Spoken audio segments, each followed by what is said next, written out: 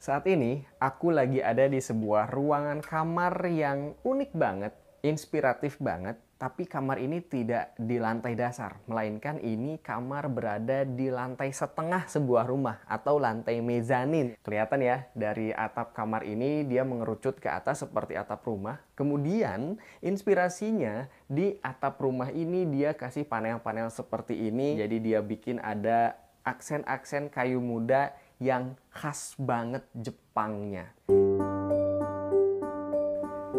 Ngomongin konsep Jepang, ada tiga hal yang bisa diterapkan untuk memunculkan konsep rumah gaya Jepang di rumah kamu. Ini khusus yang udah punya rumah ya. Satu, skin tone. Rumah-rumah gaya Jepang umumnya sangat kental menggunakan warna-warna natural atau earth tone. Pilihan warna coklat, warna kayu, putih, atau krem. Dua, elemen material yang natural. Rumah gaya Jepang sangat kental menerapkan elemen alam seperti kayu pada penerapan rumahnya atau hamparan batu, atau tanaman-tanaman hijau. 3. Aksesoris rumah ala Jepang Menerapkan aksesoris khas Jepang pada dekorasi rumah akan semakin memunculkan karakter khas Jepang pada rumah tersebut. Terus, gimana nih sama yang belum punya rumah atau berniat punya rumah tahun ini?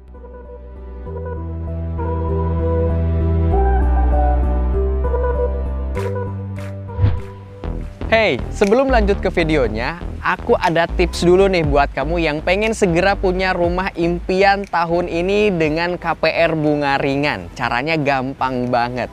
Kamu tinggal searching aja di handphone kamu event BCA Expo Perseri 2023 secara online yang akan berlangsung sampai tanggal 30 April 2023. Di sana kamu bisa dapetin bunga KPR spesial 2,66% aja fix selama satu tahun. Itu kecil banget loh.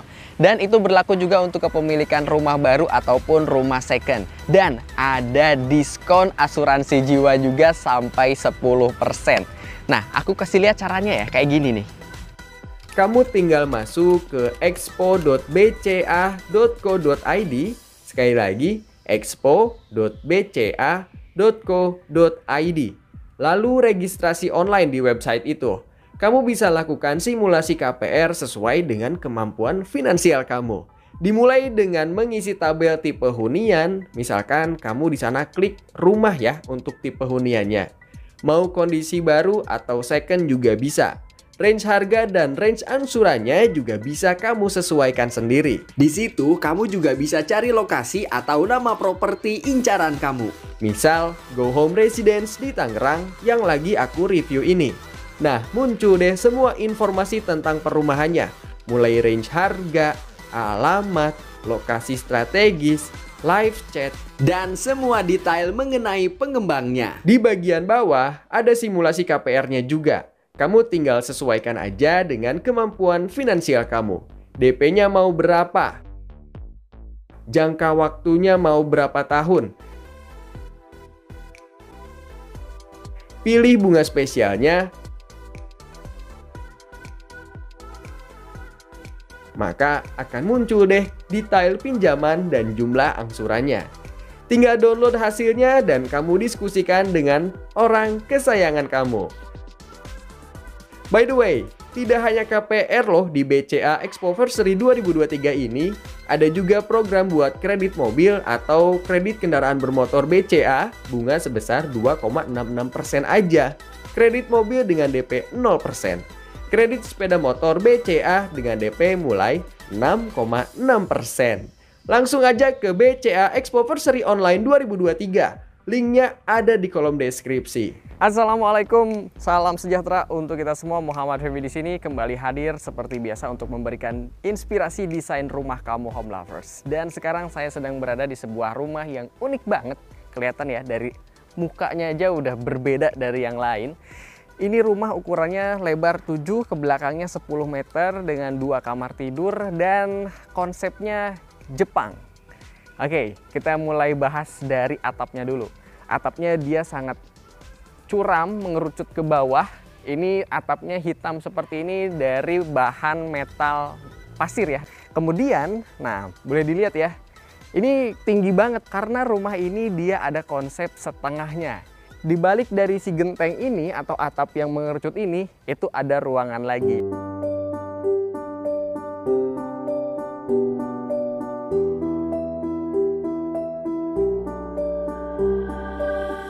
Nah, yang bikin rumah ini jadi lebih cakep menurut saya, di depannya dia sudah pakai aksen kayu artificial seperti ini, jadi menimbulkan kesan yang cukup natural dan hangat di rumahnya. Ditambah juga dengan pemilihan cat yang hangat juga ya, seperti warna krem, kemudian warna putih tulang seperti ini, dengan satu buah bukaan jendela yang gede banget di depan rumahnya. Plus, yang belum kebahas ya. Boleh dilihat deh, dia ada melintang-lintang kolom cor yang bikin rumah ini jadi kelihatan lebih gagah menopang dari atapnya dan dia sengaja tonjolkan atau dia expose kolom-kolom ini biar kelihatan rumah ini menjadi lebih sangat berwibawa. Ini rumah khas Jepang banget ya. Begitu masuk tuh dia langsung ada satu meja makan nih mungkin budayanya di Jepang seperti itu atau seperti apa juga saya nggak ngerti ya. Di atas area makan ini punya ceiling yang tinggi banget dengan jalusi untuk sirkulasi udara dan kacamati untuk cahaya. Nah, di area depan ini juga ada dapurnya bersebelahan persis dengan meja makan. Ini satu kitchen set semuanya full di area depan pas kita masuk banget. Terus di mana ruang tamunya? Nah, tapi sebentar dulu, ada ruang tamu yang unik juga di rumah ini. Nanti kita bahas ya.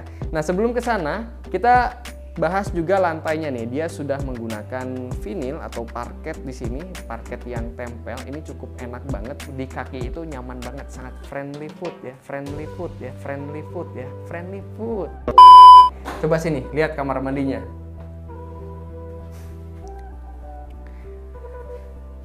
Nah, ini dia kamar mandinya Home Lovers.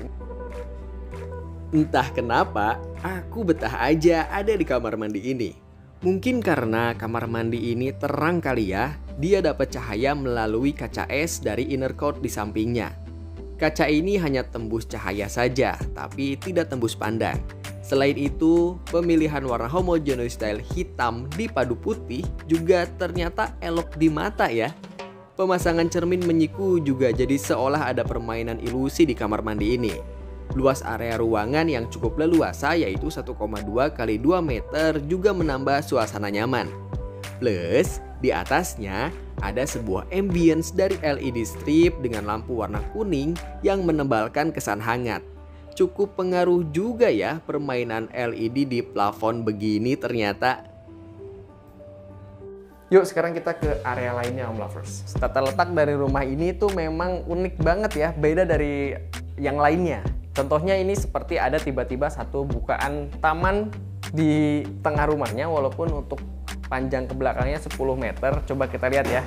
Di sini diinspirasikan hanya dihamparkan satu buah koral-koral warna hitam dan warna putih. Kemudian di sini ada taman-tamanan seperti ini walaupun mungkin agak sayang juga ya kalau misalkan cuma segini lahan yang cukup gede dipakai hamparan-hamparan batu aja. Mungkin di sini bisa dikasih hal yang lain yang mungkin lebih memanjakan mata misalkan area kolam ikan koi. Dari area tamannya, kita masuk ke kamar utamanya dulu nih. Kamar utama ini persis beririsan dengan taman nih Home Lovers. Emang ya, layout atau tata letak dari rumah ini cukup unik banget.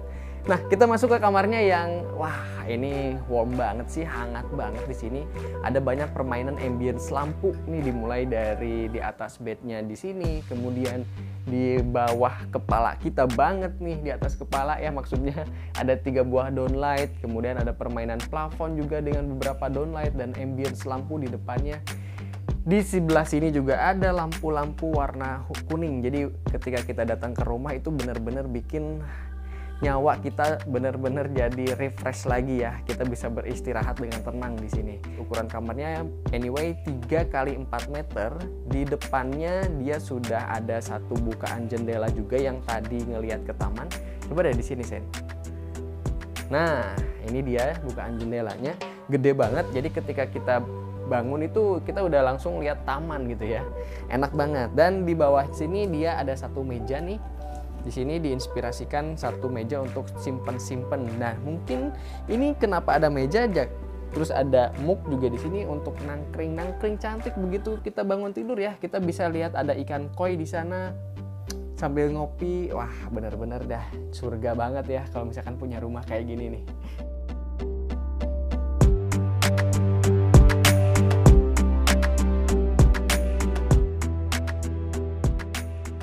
Nah, kemudian pintu kamarnya juga disesuaikan ya. Jadi dia nggak pakai pintu yang seperti biasa, dia pakai pintu geser seperti ini. Yuk dari kamar sekarang kita masuk ke area selanjutnya yang cukup unik menurut saya. Ini adalah ruang keluarganya atau ruang tamunya atau living roomnya atau mungkin di sini ruang belajar juga bisa, area kerja juga bisa. Nah, di sini diinspirasikan dia bikin satu desain. Ini meja seperti ini, ini bisa untuk belajar, bisa untuk kerja. Terus di sini ada untuk benchnya, bangku. Kemudian nggak lupa masih ada storage-storage penyimpanan seperti ini. Dia bikin naik sekitar 60 cm, naik untuk duduknya.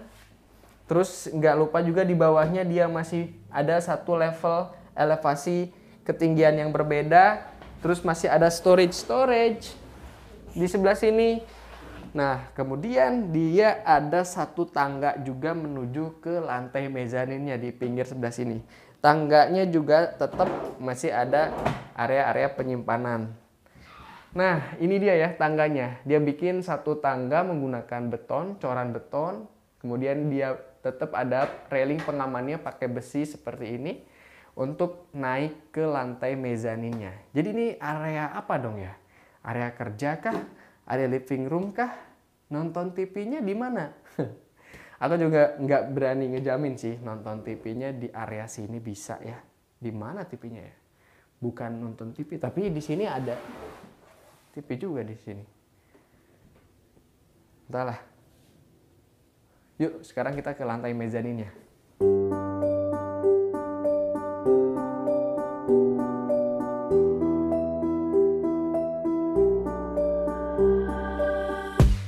Oke, dan ini dia lantai mezaninya atau lantai setengah dari rumah ini. Oke, di sini dia diinspirasikan jadi di bawah dari genteng banget. Ini karena ada mengerucut seperti ini. Ada jendela juga di sebelah sini untuk lihat keluar.